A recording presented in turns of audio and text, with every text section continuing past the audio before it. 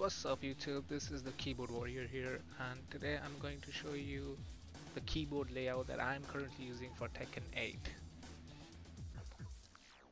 The keyboard is not the most preferred controller for Tekken 8 but trust me when I tell you this, the input accuracy that you can achieve from a keyboard is absolutely incredible. This is what I'm currently using it all depends on how comfortable you are with your buttons.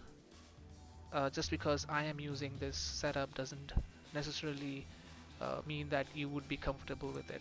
But if you are confused and you want to give it a shot please go ahead.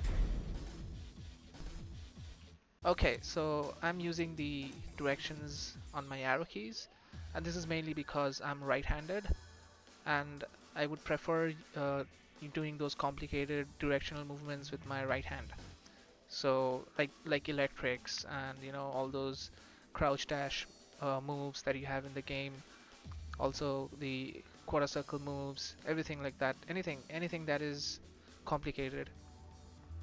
Uh, you, you need a lot of directional accuracy for Tekken. So that's why I use my right uh, right hand for this in case you're left-handed you could switch it to W S A and D. Uh, that is uh, a pretty good setup for the directions. That is normally what we use for FPS gaming. So you can use that. As for 1 2 3 4 I have 1 as A 2 as S 3 as D and 4 as F. I normally like to keep it in one line so therefore I have uh, used A, S, D and F for 1 2 3 4 now in case you're left-handed you could set your directions to WSAD and 1 2 3 4 on your arrow keys as well.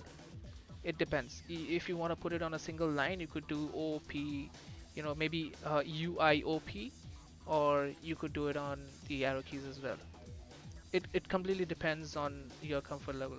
I prefer it in a straight line now it depends on what you like also I have my 3 plus 4 bind set to Q and heat set to E. And I have the right trigger uh, set to Rage Art. This is the shift key by the way.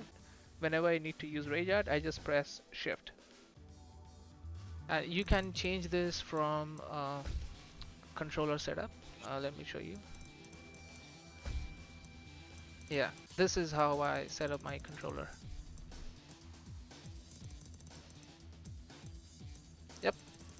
So that is it. That's my keyboard layout. I hope you like this video. Please go ahead and subscribe to the channel. It means a lot to me if you do.